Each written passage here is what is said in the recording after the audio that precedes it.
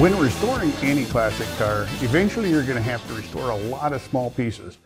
In order to do that, a lot of times we got to get the old paint off before we can actually start dealing with, you know, any rust or any other things we got to deal with on these small parts. So what I like to do is to actually, after I get like a good coat of paint stripper on this, I have a tendency to actually walk away and come back later and find out that now my part's covered with dried out paint stripper. Have to reapply and go through the process again. Good way around that is to drop your parts into a plastic bag. The uh, some paint strippers will eat through some plastics.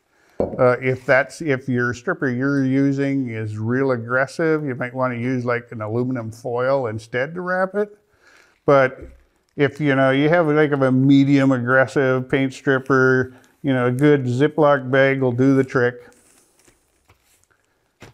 And the good part about putting your parts with the stripper inside the bag is now it they don't dry out. That's the biggest thing you have to worry about, the, the, all the stripper drying out. So it won't dry out.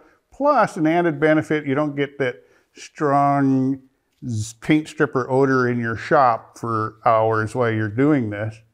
Then after, when you're ready, it's just a matter of opening the bag, taking it out, using a coarse steel wool, help clean up your uh, all the stripper and all the paint off the product.